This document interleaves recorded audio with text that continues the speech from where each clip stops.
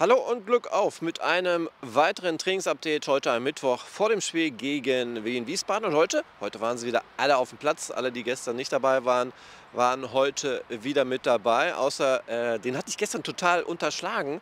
Äh, und Neuzugang Sopi, der war gestern auch da, hat individuell trainiert, hat auch ein paar Runden mit dem Ball gedreht, aber dann habe ich ihn gar nicht mehr auf dem Platz gesehen und auch irgendwie dann schon vergessen. Aber hier im Hintergrund äh, war er auf jeden Fall gerade äh, zu Gang und hat äh, dort ein paar Übungen mit dem Ball gemacht. Also er soll ja behutsam spielfit gemacht werden. Ja, Ralf Herrmann ist wieder da. Trotzdem gab es noch mal heute einen Besuch aus der U23. Julius Paris war heute mit dabei und hat dann quasi mit Fährmann, mit Marius Müller und mit Michi Langer zusammen trainiert.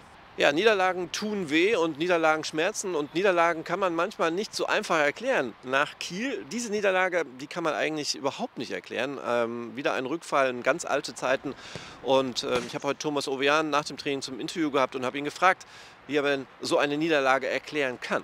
Ja, es ist, ist nicht mehr schön zu verlieren. Ähm, das tut immer weh, äh, jede, jede Niederlage. Ähm, ja, das, das müssen wir, wir mit äh, umgehen und ja, das ist nicht, äh, nicht immer äh, einfach, aber ja, auch da arbeiten wir an und probieren so nächstes Spiel wieder äh, zum nächsten Spiel zu gucken und nicht immer zurück zu gucken. Ja, war ein schweres Spiel. Ähm, wir haben das analysiert und ähm, ja, wir machen das einfach besser am Samstag. Ja, auch da eine gewisse Ratlosigkeit und einfach nur die Hoffnung, dass es im nächsten Spiel besser wird. Und was gibt denn Hoffnung?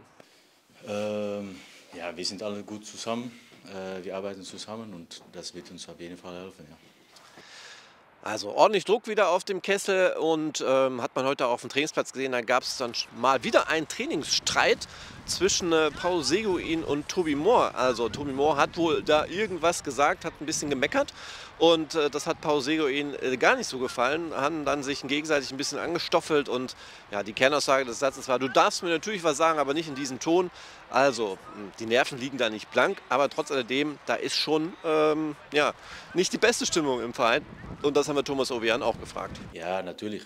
Niederlagen tun immer weh. Ähm, ja, dann, dann, sind wir nicht eben, eben froh äh, am Montag wieder hier. Ähm, aber ja, wir müssen probieren, positiv zu bleiben, aber es ist gerade schwer. Ja.